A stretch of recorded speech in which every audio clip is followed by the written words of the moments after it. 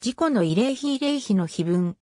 向井田邦子ら日本人の犠牲者の名前は左下に刻まれている遠東航空103便墜落事故は1981年8月22日に台湾の航空会社の遠東航空機が巡航中に空中分解して墜落した航空事故である。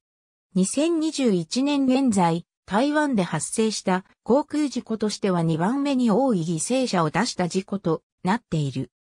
台湾、台北松山空港発高尾行きの遠東航空103便、ボーイング737から200が台北を午前9時54分に離陸して14分後、台北の南南西約 150km の苗栗県三義号上空高度2万2000フィートを巡航中に突然空中分解し、山中に墜落した。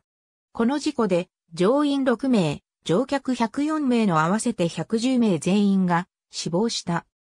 乗客には日本人18名が含まれていたが、その中に台湾への取材のため登場していた作家の向井田邦子やシルクロード写真企画の火付け人であった手話寺昭一郎がいたこともあって、日本社会に大きな衝撃を与えた。他にアメリカ人2名も犠牲となっている。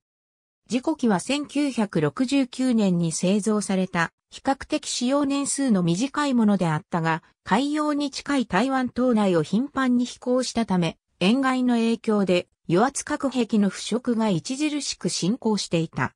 これによって貨物室の外板が客室油圧に耐えられなくなって破壊され、空中分解に至ったものであった。本事故の約2週間前の8月5日にも、当該機は台北から高尾へ向かう途中に客室の余圧が抜けるトラブルを起こしていた。この時は台北に引き返し、緊急着陸に成功している。その応急修理を終えて復帰した直後に本事故が発生しているため、このトラブルはその前兆であったとされる。事故後、各国の航空当局はボーイング737の点検を命じ、後に外板は従来よりも厚いものに交換されるようになった。なお、事故後遠東航空はボーイング737をすべて退役させ、ボーイング757や MD-82 に変更している。